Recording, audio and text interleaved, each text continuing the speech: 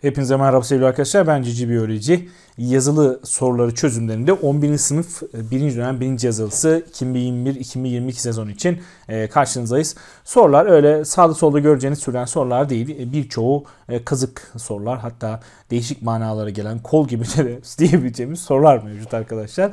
Tabi bu soruları, soruları okulda karşınıza görebilme ihtimaliniz çok yüksek olmasa da bu soruların yayılma ihtimaline binaen karşınıza gelme ihtimali de artabilir arkadaşlar. Malumunuz sosyal medya hesaplarını, YouTube kanallarını öğretmenler de takip ediyor. E, karşınıza bu sorular gelirse hiç şaşırmayın yani belli olmaz. Şimdi soru bir de diyor ki tipik bir nöron çizerek kısımlarını gösteriniz. Yani ben sınavda mesela 11. E, sınıflara yapılan sınavda yani bugüne kadar hep sordum bu soruyu arkadaşlar. Niye? Arkadaşım bir öğrenci sinir sistemini gördüyse bir nöronun şeklini çizsin yani.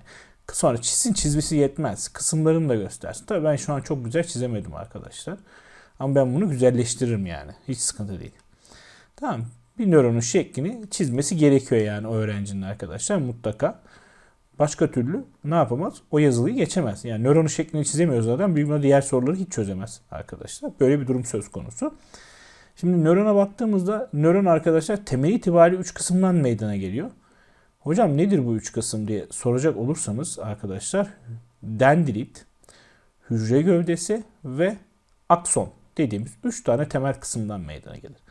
Dendrit, hücre gövdesi ve akson. Şu hücre gövdesinden çıkan uzantılara biz dendrit diyoruz arkadaşlar. Dendrit. Yani bunu ben şimdi siyah kaleme dönüş yaparak anlatacak olursam arkadaşlar şu uzantılara biz ne diyoruz?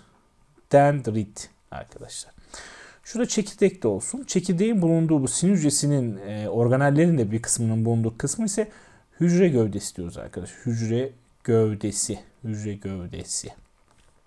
Şu uzun uzantıya ise ne diyoruz arkadaşlar? Akson diyoruz arkadaşlar. Aksona dikkat ederseniz kırmızı ile yaptığım aslında beyaz ve sarımsı bir renkte görünen bir kısım var. Miyenin kılıf diyoruz arkadaşlar.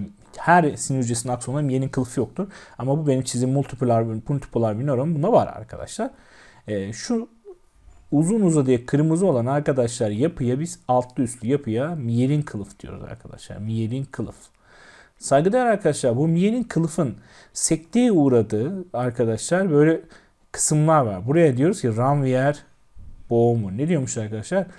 Ranvier boğumu diyormuş. Ranvier boğumlarında miyenin kılıf kesintiye uğrar arkadaşlar. Ve kesintili bir şekilde sinir, sinirsel iletim e, bu nöronda yapılır diyoruz. Burada miyenin kılıfın üretimini e, yeri gelir şuvan hücresi tarafından, yeri gelir oligodendrositler tarafından yapılabilir arkadaşlar. Uyarının alındığı kısım dendrittir, uyarının iletildiği kısım aksondur. Bir sinir hücresinde uyarı dendritten aksona doğru iken iki sinir hücresinde uyarı aksondan dendrite doğrudur gibi genellemeler yapabilirsiniz.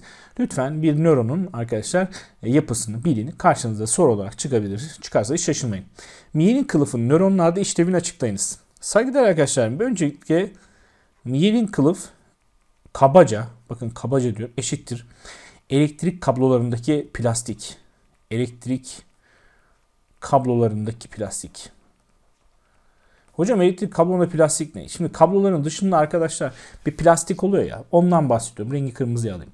O plastikten bahsediyoruz. Elektrik kablolarının dışında, bakır telinin dışında plastik olunca ne oluyor?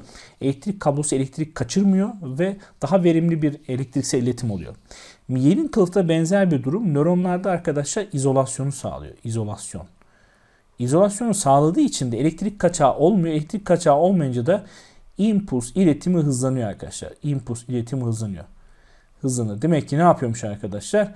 Ee, elektrik kaçağını engelliyormuş miyelin kılıf sinir hücrelerinde. Bu elektrik kaçağını engellemesi neticesinde de impuls iletimi hızlanıyor. Impuls iletimi hızlanıyor. Yaklaşık 10 kat hızlanıyor arkadaşlar. Durum bu. Gelelim üçüncü soruya. Duyu nöronu zarar görmüş birisinin masadan bir bardak su almasını açıklayın. Mesela bir adamın arkadaşlar sol koluna gelen sol koluna gelen duyu nöronları duyu nöronları işlevsiz hale geldi diyelim arkadaşlar. İşlevsiz hale geldi. Farz edelim yani. Sallıyoruz. Şimdi böyle bir durumda bu kişi bardaktan e, masadaki bardağı suyu alabiliyor. Yani neden alabiliyor? Çünkü duyu nöronu arkadaşlar size dokunduğunuz, dokunulduğunda, bir şey battığında, yandığında ya buna benzer basınç uygulandığındaki duyuları hissetmeni sağlayan e, reseptörlerin aldığı uyarıların gittiği nörondur. Ama siz e, bardaktan su almak istiyorsanız buna uç beyniniz karar verir. Uç beyniniz motor nöronlarla ilgili organa gönderir bunu. Yani sizin bir bardaktan karar verip suyu almanızın duyu nöronlarla alakası yok. Bu yüzden duyu nöronları zarar görmüş bir insan felç değildir. Ama hissizdir, hissetmez arkadaşlar. Nitekim buna benzer bir durum diş çekimlerinde görülür.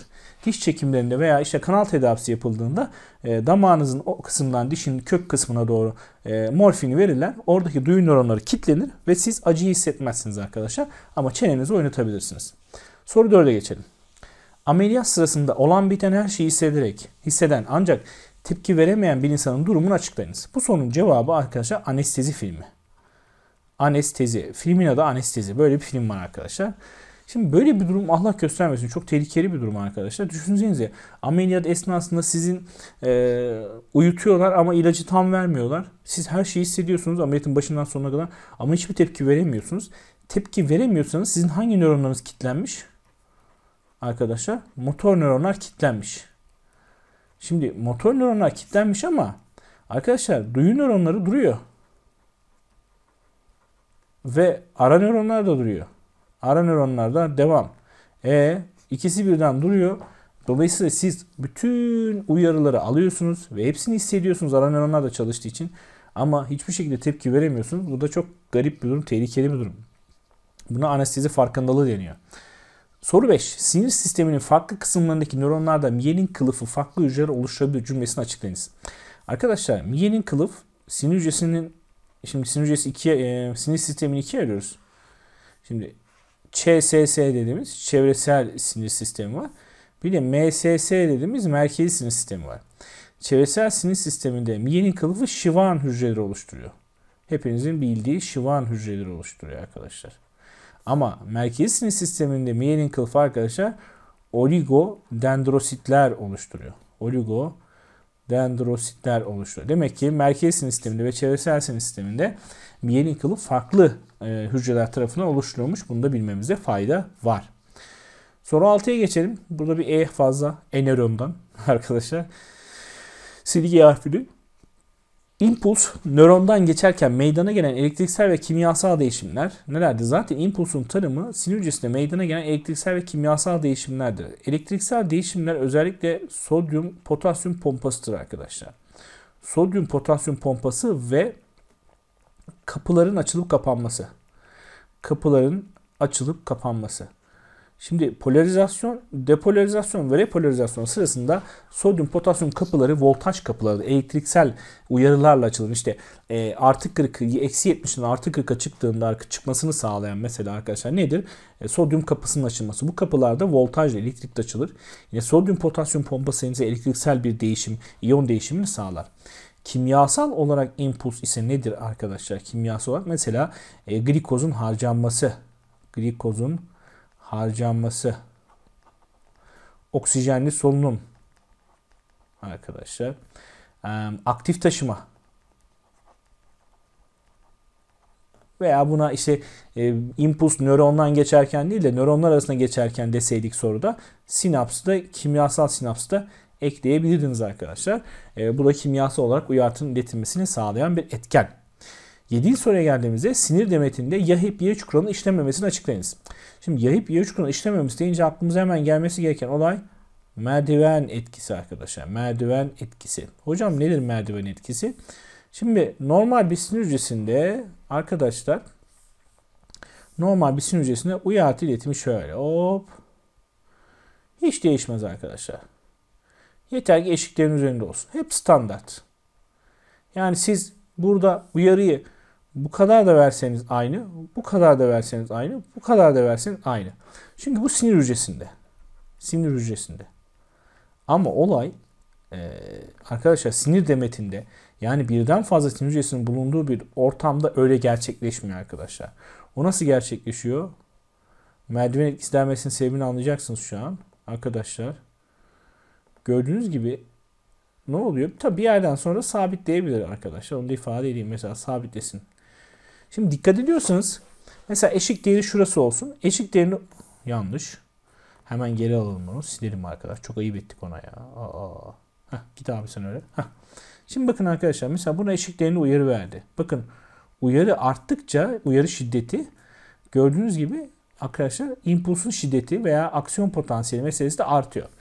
İşte buna biz merdiven etkisi diyoruz arkadaşlar. Sinir demetinde ve kas demetinde her bir sinir hücresinin veya kas lifinin eşik değeri farklı olacağından Yahip Yahuç kuralı işlemez bunlarda arkadaşlar. Ve her kas ve sinir, e, her kas lifinin veya sinir hücresinin eşik değeri farklı olacağından farklı aksiyon potansiyelleri oluşabilir ve sinir hücresinin vereceği tepki aynı kalmayabilir. Bu yüzden sinir demetinde Yahip Yahuç kuralı yemez arkadaşlar. Sebebi nedir? Ee, sinir demetindeki farklı sinir hücrelerin farklı eşik değerlerinin olması. 8. Şu an bu soruyu okurken beyninizin hangi kısmı çalışıyor ve görevleri nelerdir? Arkadaşlar okumak, e, görmek bunlar tamamen uç beyinle alakalı bir mevzu arkadaşlar. Uç beyin. Biz burada uç beynin görevlerini soruyoruz. Uç beynin görevleri nedir? Arkadaşlar mesela uç beynin görevleri hafıza. Hafıza tamamen uç beyinle alakalıdır. İrade. Uç beyinle alakalı. İstemli hareket ya da istemli davranışlar arkadaşlar. Uç beyinle alakalıdır. İşte iskelet kas hareketleri. İskelet kas hareketleri. Bunlar da neyle alakalıdır yine arkadaşlar? Uç beyinle alakalı ve rahatsızlı kelam arkadaşlar. Şu an benim şu soruyu çözmem, soruyu okumam hepsi uç beyinle alakalı bir durumdur. Dokuz soruya geldik. Homeostasi kelimesini duyduğunuzda aklınıza gelen ilk beyin kısmı neresidir ve görevleri nelerdir? Arkadaşlar mesela bazı şeyler. Bak su dengesi. Su dengesi. iyon dengesi. Sıcaklık dengesi. Arkadaşlar hatta şeker dengesiyle bile alakası olabileceği söyleniyor. Şimdi su dengesi, iyon dengesi, sıcaklık dengesi bakın hep denge ve bunların hepsinin görevi arkadaşlar kime ait? Arkadaşlar hipotalamusa ait. Yani sizin aklınıza iç dengeyle alakalı olayla geldiğinde ilk gelmesi gereken arkadaşlar yapı ve e, organ diyelim beynin yapısı ara beyinde bundan hipotalamustur. Hipotalamus homeostasideki en önemli e, yapılardan belki biri de belki en önemlisidir arkadaşlar. Dolayısıyla benim aklıma hipotalamus geldi. Sizin de aklınıza hipotalamus gelebilir. İşte su dengesini sağlaması, iyon dengesini sağlaması, sıcak dengesini sağlaması, eşeğsel olgunlaşmayı sağlaması gibi gibi bir sürü görevleri var. Ponsu zarar gören bir insanda ne tür sıkıntılar meydana gelir? Şimdi insan arka beyninde pons, omurilik soğanı ve beyincik var. Burada ponsun değişik görevleri var arkadaşlar. Birinci görevi nedir arkadaşlar? E, beyincik beyincik yarım küreler arasında bağlantıyı sağlar. Ve o zaman arkadaşlar eğer böyle bir görev varsa demek ki bunda bir sıkıntı varsa e, Pons'ta bir sıkıntı olacaksa beyincikte problemler ortaya çıkabilir. İşte dengesiz hareketler, iskelet kas hareketlerinde dengesizlik, e, mesela düz bir çizgide yürüyememe gibi sıkıntılar ortaya çıkabilir. E, bilinçaltı, bilinçaltı faaliyetlerini düzenleme gibi bir görevi var arkadaşlar. Dolayısıyla Pons zarar gördüğünde bilinçaltı faaliyetlerde problemler ortaya çıkabilir. Başka solunum merkezini denetler. Omurilik soğandaki solunum merkezini denetler. E arkadaşlar solunum merkezini denetliyorsa o zaman ponsusta bir problem çıktığında solunumda da sıkıntı çıkarabilir. İşte yutma, çiğneme, sindirim gibi olaylarda da arkadaşlar görevleri var. E, dolayısıyla ponsta zarar olduğunda yutma, çiğneme ve sindirim gibi olaylarda da problem ortaya çıkabilir. Yani gördüğünüz gibi Pons'un da çok hayati görevleri olduğunu görüyorsunuz. Pons'u zarar gören insan da bu tarz olaylar meydana gelebilir. Omurilik soğanlı hayat düğümlenmesinin sebebi nedir? Arkadaşlar omurilik soğanı solunumu, e, dolaşımı, boşaltımı, işte sindirimi, gördüğünüz gibi birçok arkadaşlar sistemi omurilik soğanı kontrol ediyor. İşte bu sistemleri omurilik soğanı kontrol ettiği için mesela Dolaşım sisteminizde bir kalp dediğiniz organınız var. Omurilik soğanınız herhangi bir darbe aldığında veya zarar gördüğünde kalbiniz atmayabilir ve ölebilirsiniz arkadaşlar. İşte bu kadar hayati öneme sahip bir yapı olduğu için herhangi bir sıkıntı durumunda ölebileceğiniz için omurilik soğanı hayat düğümü demişler arkadaşlar. Beyin sapı zarar gören birinin neler yaşayabileceğini yazınız. Beyin sapı nelerden oluşuyor arkadaşlar? İşte orta beyin, orta beyin, pons, ve omurilik soğandan oluşuyor arkadaşlar beyin sapı. Sayı, sayılar arkadaşlar beyin sapı zarar gören bir insanda beyin ölümü gerçekleşebilir. Dikkat ederseniz bu beyin sapı direkt zaten e, bağlantıyı sağlayabilen, sizin birçok sisteminizi kontrol eden e, bir sistem, e, bir yapı arkadaşlar. Ama tabii beyin beyin ölümü sadece beyin sapıyla bağdaştıramayız. İşte uç beynin veya buna bağlı, bazı bağlı organların da zarar görmesiyle e, beyin ölümü gerçekleşebilir sevgili arkadaşlar. E, orta beyin faaliyetlerinin durması demek sizin kas sonuzunun ortadan kalkması demek ki zaten e, insanın gözüne bakarlar. Göz bebeğine ışık verirler ki e, bakalım bir sıkıntı var mı diye. Çünkü göz bebeği tepki veriyorsa orta beyinde problem yok demektir. Ama tepki vermiyorsa orta beyinde problem var demektir. İşte ponsalar ve görürse neden olduğunu bileceğini diğer soruda söyledik. Omlik soğan olursa hayat düğümü dendiğini söyledik. Dolayısıyla beyin sapı zarar gören bir insanın ölme ihtimali çok yüksek. Hatta beyin ölümü gerçekleşebilir diyoruz arkadaşlar. Soru 13. Omuriliğin enine kestiğini çizin demiş arkadaşlar. Çizin demiş derken ben dedim çizin. Şimdi şöyle bir yapı çizelim arkadaşlar. Şöyle. Evet. Omuriliği şöyle çizelim. Evet. Omuriliği şöylece bir çizelim bakalım. Şematik çiziyoruz tabii ki arkadaşlar. Tabii omuriliğin şöyle ak bölgesi ve boz bölgesi meselesi var. Omurilik soğanı ve omurilikte malumunuz arkadaşlar. Dışta ak, içte boz madde var. Ama beyin, uç beyin kısmında dışta boz, içte ak madde var. Şimdi bakın arkadaşlar burası buradan giren nöronlar bak bunlar duyu nöronları. Bak bunlar duyu nöronları. Buradan giren nöronlar duyu nöronları. Bu giren yer ne? Bu giren yer arkadaşlar buralar. Burası arka kök. Arka kök. Bakın burası neymiş? Arka kök arkadaşlar. Arka kök. Arka kök. Mesela burası sol arka kök. Burası sağ arka kök. Tam tersini düşüneceksiniz. Bakın arkadaşlar buralarda ise ne var? Buralarda ise arkadaşlar buralarda ise ara nöronlar var. Ara nöronlar var. Bakın ön kök kısmı var bir de. Buradan ise hangi nöronlar çıkıyor? Motor nöronlar çıkış yapıyor. Motor nöron. İşte bunun adı ne? Motor nöron. Bu çıkış yaptığı kısma ne deniyor arkadaşlar? Ön kök. Mesela burası sol ön kök. Burası da sağ ön kök arkadaşım. Neden hocam sağ sol ters burada diyeceksiniz. Sırtınızı soruya dayayarak e, çözerseniz neden sağ neden sol olduğunu anlarsınız. Şekersiz şeker hastalığının sebebi nedir? Şimdi şe- şeker hastalığının en önemli belirtilerinden biri arkadaşlar sık idrara çıkmadır. Sık idrara çıkma. Şimdi sık idrara çıkan bir insan doktor önce idrar tarihine bakar. İdrarda bakar glikoz var mı? İdrarda glikoz varsa der ki sen şeker, diyabetes mellitussun. Ama idrarda şeker yoksa durum farklı. İdrarında şeker de olmayan, idrarında şeker olmayan ama çok sık idrara çıkan bir insanda ADH hormonunda sıkıntı vardır. ADH hormonu az salgılandığında kişinin su emilimi azalır. Nereden? Böbrekten su emilimi azalır. Özellikle yani distal tüpten ve toplama kanalından. Su emiliminin azalması demek idrarın artması demek. İdrarın artması demek. İşte bu idrarın artması mevzusu şeker hastalığı belirtisi olduğu için ADH'da da böyle bir durum söz konusu. Bu tarz insanların çok fazla su içmesi gerekir. Çünkü ADH azından dolayı su emilimi azalacağı için geri emilimi sürekli bir şekilde idrarda su artma görülebilir. Böbrek taşı oluşumunu parat hormon. parat hormon. Hormon nedir arkadaş? Şimdi parat hormonun görevi ne arkadaşlar? Parat hormonun görevi kanda kanda Ca art 2'yi arttırmak. İşte bunu nasıl yapar? Bunu kemikten kana geçişini sağlayarak yapar. İnce bağırsaktan kalsiyumun kana geçişini sağlayarak yapar. Böbreklerden kalsiyumun kana geçişini sağlar. Eğer paratormon fazla salgılanırsa kanda fazla kalsiyum olur. Kanda kalsiyum artar. Kanda kalsiyum artarsa böbreklere fazla kalsiyum gider. Böbreklere fazla Ca artı 2 gider. Şimdi böbreklere fazla Ca artı gidince bu Ca arkadaşlar fosforla birleşecek ve kalsiyum fosfat taşlarına sebep olacak. Demek ki paratormonun çok fazla salgılanması arkadaşlar e, kalsiyum fosfat bileşiminin böbreklerde bileşimini arttıracağı için böbrek taşı oluşumunu arttırabilir diyoruz. 16. soru stres ve kanser arasındaki bağlantı hormonlar açısından açıklayınız.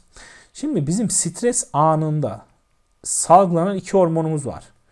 Birisi adrenalin, birisi kortizol.